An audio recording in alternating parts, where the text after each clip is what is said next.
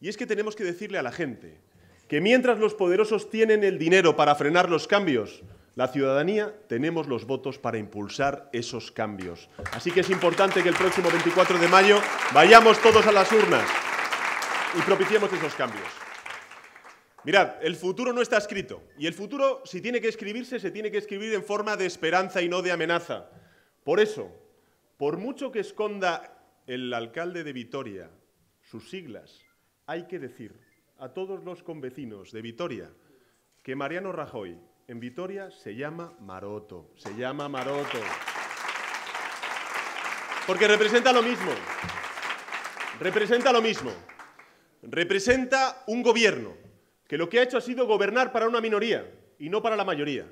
Y el Partido Socialista, allí donde gobierna, siempre lo hace para una mayoría social y no para los de la amnistía fiscal.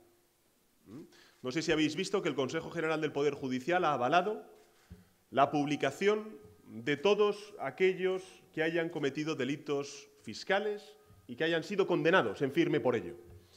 Por eso le digo al Partido Popular que publique la lista de los amnistiados fiscales porque antes del 24 de mayo todos los españoles y españolas, también en Vitoria, merecen saber a quiénes han amnistiado fiscalmente el Gobierno del Partido Popular.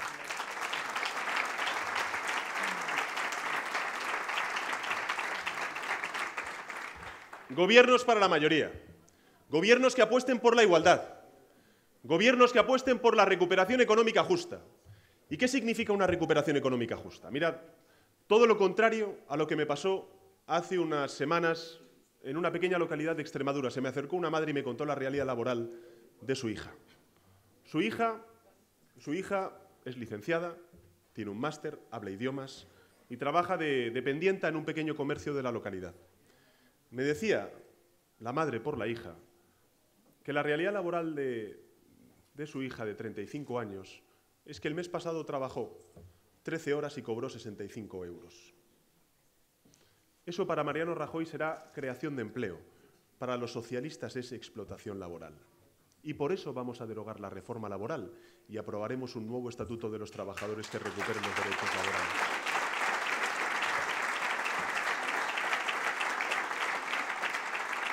Yo no he escuchado al, Partido Popular ni de Álava ni tampoco de Vitoria defender los, derechos, los derechos de los trabajadores de esta tierra. No he, visto tampoco defender en el Congreso de los Diputados a, a los diputados del País Vasco, del Partido Popular, otra política económica que no fuese la de Mariano Rajoy. Al contrario, la han aplaudido, la han votado a favor e incluso también la han respetado desde el punto de vista político. Por eso es necesario un cambio también en esta tierra. Mirad, Gobernar para la mayoría no es solamente derogar la reforma laboral, no es solamente aprobar un nuevo estatuto de los trabajadores que, haga de nuestro estatuto de los trabajadores una carta de derechos laborales y no precisamente un catálogo de precariedad laboral que es en lo que lo ha convertido el Partido Popular. Nosotros vamos a hacer cosas como la siguiente. Estoy convencido de que aquí hay trabajadores y trabajadoras que sois falsos autónomos, es decir, personas que cotizáis a la seguridad social mientras estáis empleados en una empresa en una empresa como si fueseis trabajadores por cuenta ajena, no por cuenta propia. Pero en términos de seguridad social, sois trabajadores por cuenta propia. Bueno, pues quiero deciros que el compromiso del Partido Socialista es que a esos falsos autónomos, a partir de que aprobemos el nuevo Estatuto de los Trabajadores, esa cotización a la seguridad social, quien la pagará será el empresario y no el trabajador. Eso es una ayuda a los autónomos. Por supuesto. Vamos a hacer lo siguiente. Vamos a hacer lo siguiente. Vamos a hacer que los autónomos al mes los impuestos, los impuestos, escucha que te, te, estoy, respondiendo, los impuestos que paguéis al mes sean en función de los ingresos que tengáis mensuales. Y no como ocurre ahora, que las cotizaciones a la seguridad social, la mínima, está en torno a 250 euros cuando tenéis sueldos de 500 euros. Es decir, que gastáis la mitad de vuestro sueldo en la cotización a la seguridad social. Ese es un compromiso también del Partido Socialista.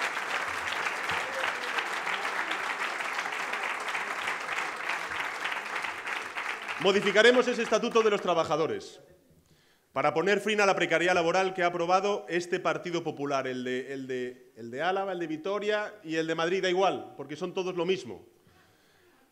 E incluso también haremos gobiernos para la mayoría que apuesten por la igualdad. Mirad, hace, antes, cuando, antes de intervenir, le preguntaba a Idoya si había en el País Vasco copago farmacéutico.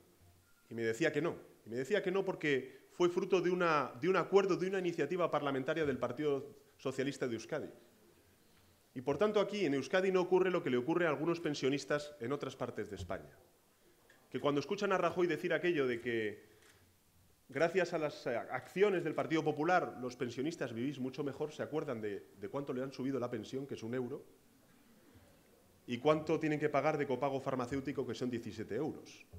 Por eso el compromiso del Partido Socialista en cuanto lleguemos al Gobierno, ¿sabéis cuál es? Que los mayores, los pensionistas, no vais a pagar por vuestros medicamentos ni un céntimo de euro. Y me diréis, ¿es posible hacerlo o no? ¿Es posible hacerlo o no? Sí se puede hacer. Allí donde gobernamos, en Asturias y en Andalucía, en Andalucía, por ejemplo, se hacen subastas para medicamentos que precisamente lo que hacen es recortar el gasto farmacéutico, sin necesidad de tener que introducir un copago. Habrá compañeros y compañeras, vecinos y vecinas que dirán que no hay diferencia entre el Partido Socialista y el Partido Popular cuando gobernamos. Mentira. Mentira. Nosotros no introducimos copagos farmacéuticos. Nosotros no hacemos lo que está haciendo el Partido Popular con la igualdad de oportunidades en el sistema educativo.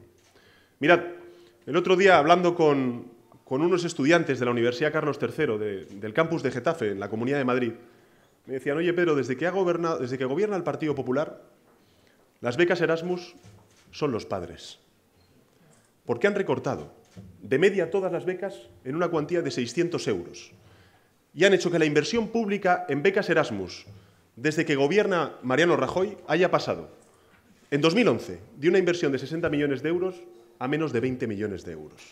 Es decir, hay diferencias sustanciales entre el Partido Popular y el Partido Socialista, porque no es lo mismo un partido que con sus errores ha hecho muchas cosas por este país, los grandes avances en derechos y en libertades en este país han venido siempre de la mano del Partido Socialista. No es lo mismo aquel que puso en pie una educación pública gratuita y universal a quien lo desmantela. No es lo mismo aquel partido que puso en pie una sanidad pública gratuita y universal a quien lo desmantela. No es lo mismo aquel que puso en pie un sistema nacional de dependencia a quien lo desmantela. No es lo mismo aquel que puso en pie un sistema público de pensiones a quien lo desmantela, como está haciendo el Partido Popular. No es lo mismo un partido que puso en pie la ley de interrupción voluntaria del embarazo para que las mujeres tuvieseis la libertad de decidir cuándo ser madres y cuándo no, a un partido que lo recurre en el Tribunal Constitucional. No es lo mismo. No es lo mismo. Un partido que aprobó la ley de matrimonio entre personas del mismo sexo a un partido que recurrió por llamarlo matrimonio en el Tribunal Constitucional esa ley. No es lo mismo un partido que puso en pie la ley de igualdad, no solamente la ley de igualdad, sino la ley de lucha contra la violencia de género, a un partido que desmantela toda la lucha contra la violencia de género como está haciendo el Partido Popular. No es lo mismo, amigos y amigas, un partido como el nuestro, que siempre ha defendido la libertad, la libertad, la convivencia. Pero si, hasta el final del terrorismo etarra tiene unas siglas que son las del Partido Socialista Obrero Español. Y aquí tenemos a Rodolfo Ares que fue consejero de Interior. Por eso, amigos y amigas, habremos cometido errores, sí, pero hemos aprendido de ellos. Somos lo suficientemente humildes. 136 años de historia, como bien decía antes Cristina, nos dan el el suficiente cuajo y la suficiente experiencia histórica como para ser humildes y saber reconocer esos errores. Levantarnos, asumirlos, pedir perdón cuando así tiene que hacerse y decir que hemos corregido esos errores y que estamos dispuestos a seguir sirviendo a nuestro país. Pero os digo esto porque, con independencia de los errores, hay un error que no podemos cometer. Y yo creo que durante estos últimos años lo hemos cometido.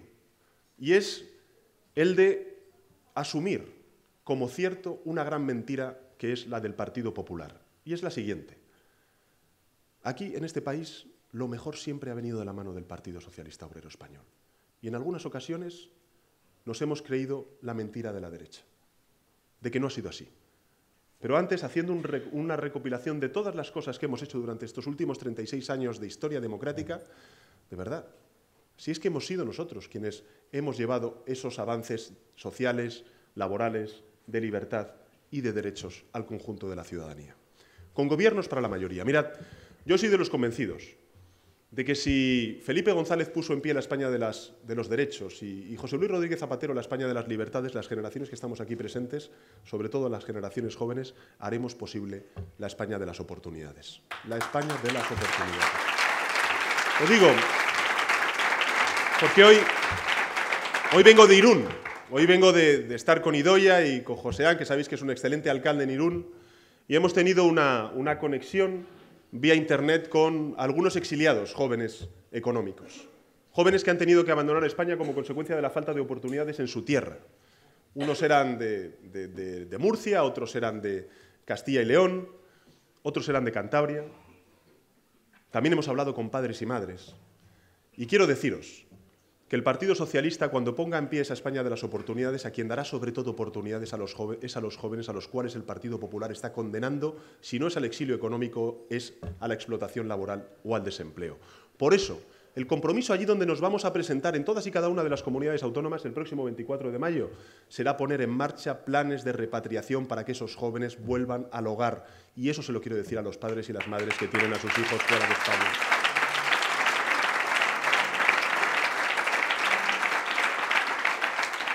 Porque nosotros somos el, partido de la igualdad de oportunidades. Somos el partido también de la igualdad de género. Mirad. Mirad. En torno al 60% de los trabajadores que menos ganan en este país, y para que os hagáis una idea, uno de cada tres trabajadores en nuestro país, gracias al Partido Popular, tanto de Maroto como de Rajoy, uno de cada tres trabajadores ganáis en torno a 648 euros, es decir, el salario mínimo interprofesional, la mitad de los trabajadores en nuestro país, como consecuencia de la reforma laboral, ganáis menos de 950 euros al mes. Es decir, que Rajoy lo que ha hecho ha sido convertir lo que era una pesadilla, el mileurismo, en un auténtico, sueño imposible, irrealizable para la mitad de los trabajadores en nuestro país. Pues bien, el 60% de los trabajadores que menos ganan en nuestro país tienen nombre de mujer. El 24% eh, mejor dicho, las mujeres ganáis el 24% menos que los hombres por desempeñar el mismo tipo de funciones en vuestros puestos de trabajo. Y como consecuencia de ello, como consecuencia de ello, cuando retiráis, cobráis una pensión que es un 40% inferior a la de vuestros compañeros varones. Por primera vez en la historia de la democracia, amigos y amigas, se dice pronto, por primera vez en la historia de la democracia, en 40 años, ha caído la población activa femenina en nuestro país.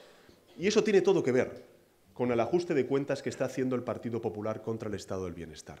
Porque al final, al final, si no hay escuelas infantiles, si no hay un, sistema nacional de dependencia que ayude y que ampare a los dependientes, si no hay un estado del bienestar potente con unos servicios públicos fuertes, al final sois las mujeres quienes tenéis que en muchas ocasiones haceros cargo de esas responsabilidades.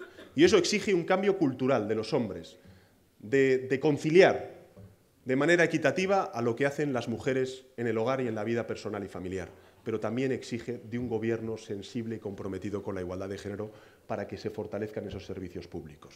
Por eso el compromiso del Partido Socialista, aunque no sea de nuestra, aunque no sea de nuestra competencia, sí que es de nuestra incumbencia.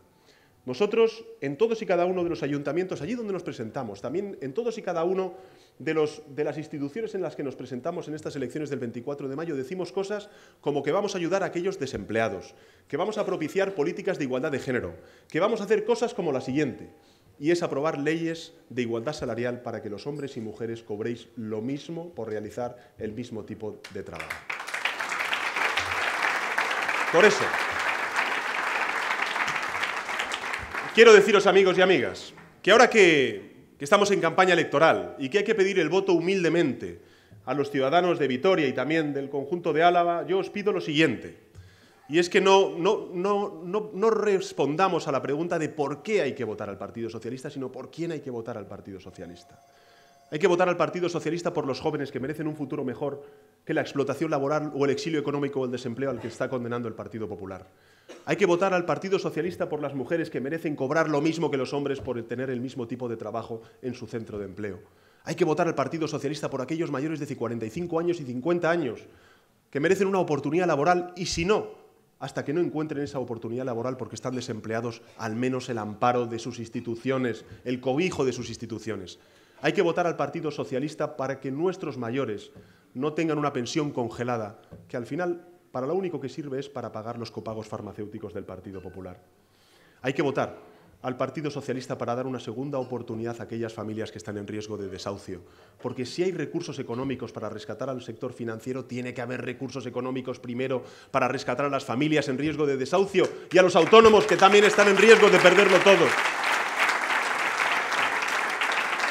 Hay que votar al Partido Socialista para que nuestros jóvenes tengan un futuro que no dependa de la cuenta corriente de sus padres. Por eso hay que votar al Partido Socialista. Hay que votar al Partido Socialista para hacer posible aquel, aquel sueño que siempre imaginamos los padres y las madres cuando, cuando pensamos en el futuro de nuestros hijos. Y es que lo mejor está siempre por venir. Y yo estoy convencido de aquí, en esta tierra, en Vitoria y en Álava, va a venir de la mano del Partido Socialista de Euskadi. Así que, a ganar, porque lo tenemos al alcance de la mano. Muchísimas gracias.